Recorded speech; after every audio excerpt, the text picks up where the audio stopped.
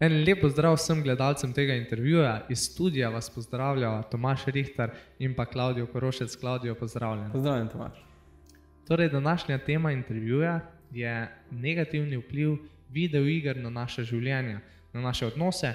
In zato je z nami prav Klaudijo, ki nam bo podelil svojo življenjsko zgodbo, izkušnjo, kako so videoigre vplivali na njega. Torej, Klaudijo, prosim, bi te kar za začetek, če se lahko malo predstaviš, eh, potem pa kako se je vse skupaj začelo in kako dolgo je zasvojenost od videoiger trajala. E, moje ime je Klaudijo Korošec, star sem 28 in sem študent eh, psihoterapije. Ja, vse se je začelo, ko sem bil star približno 10-11 let, eh, oziroma še malo predtem smo imeli eno takšno računalniško sobico na Zvezi prijateljev mladine, kjer smo lahko neki igrci igrali. Pa pa, ko sem dobil svoj računalnik, potem pa sem pač lahko še malo več časa za to. Uh, kaj pa je bilo tisto glavno, ki te je privedlo do odvisnosti in kdaj si prvič začutil, da v bistvu ne moreš reči ne? Torej, ena od definicij odvisnosti je, da ti ta stvar, od katere si odvisen, postane primarna stvar v življenju, tisto res najpomembnejše. In vse svoje življenje urejaš okoli te stvari. In eh, to se je za me zgodilo približno v obdobju srednje šole. Oktober 2005 je prišla ena računalniška igra, ki se imenovala Call of Duty 2. Do tistega trenutka, do srednje šole, sem bil odličen učenec. Eh, potem v srednji šoli, v drugem letniku, pa sem potem kot posledico tega, da sem igral vedno več videoiger, tudi moj učni uspeh začel zelo močno padati. Aha, kako pa se je to vse skupaj kazalo na odnosih do prijateljev, družine? In na vse zadnje, kako je to vplivalo na te? Eh, no, jaz sem vedno bil bolj notranje motivirana oseba, kot menim, da mogoče nimam toliko želje po druženju z drugimi. Ampak to se mi zdi ena največjih, kako bom rekel, tragedij, eh, odvisnosti od video iger. Se mi zdi, da mnogi mladi, ki to dan danes so zasvojeni z igrami, eh, preživljajo ogromno časa v igrah bežijo od nečesa, ker to je beg iz realne stvarnosti, je beg v neko izmišljeno realnost. In eh, najpogosteje mladi bežijo od nekih eh, neizpolnjujočih medosebnih odnosov, od nekih težav v medosebnih odnosih, bežijo v videoigre.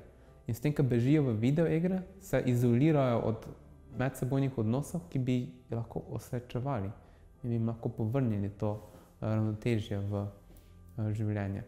Pokazal sem pa tudi recimo v kakšnih zdravstvenih težavah, eh, kot so recimo veliko mladih razvija eh, karpatni sindrom, to je okoli zapesti, se recimo pojavijo poškodbe, mehanske poškodbe od uporabe miške ali joysticka ali tipkovnice ali kaj podobnega. Tudi težave z držo, jaz sem imel osebno veliko težav za hrbtenico, Zdaj, takšne težave z držo so zelo pogoste, sključena drža, kar ponavadi potrebuje kiropraktika ali leta fitnesa, da se izboljša. Kdaj si začutil, da je sprememba potrebna in na kak način si se jo lotil? Ja, moram priznati, da verjetno vse čas nekoliko čutiš, da to, kaj počneš, da ne vem, 60-70 ur na teden namenjaš za računalniške igre, da to ni najbolj produktivno ali dobro. Ne? Da, ampak resnično soočil, tem, da, soočil sem se s tem, da se moram spremeniti, pa ko sem bil star 24-25 let.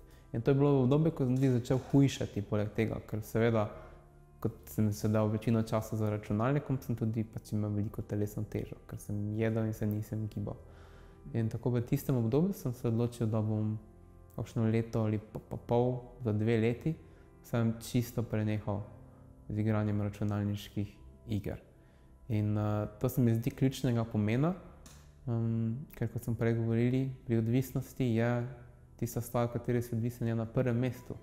In če si ti vzameš dolg premor od tiste stvari, lahko celotno življenje postaviš v pravilni vrstni red. Torej, recimo družina na prvem mestu, odnosi itd. itd. In kaj moraš sedaj početi, da v bistvu zopet ne pride do te zasvojenosti? Um, pač ena od stvari, ki se mi zdi najpomembnejša, uh, je seveda moje dekle, ki me drži na dobri poti. Um, ampak bistvo pa je, da veliko zasvojenosti se poraja iz dolg časa. um, porodijo se za dolg časa, zagotovo pa se ljudje najlažje vrnejo k njim v dolg času. Zato je pomembno, da je življenje ima nek ritem, nek tok, nek namen, nek smisel.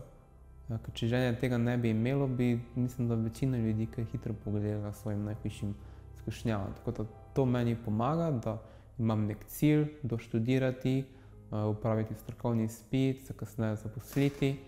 Um, tako da te stvari. No. Hvala lepa, Klaudija, za tvoj čas. Hvala pa tudi vam, dragi gledalci, za vašo pozornost. Lepo se imejte in nasvidenje.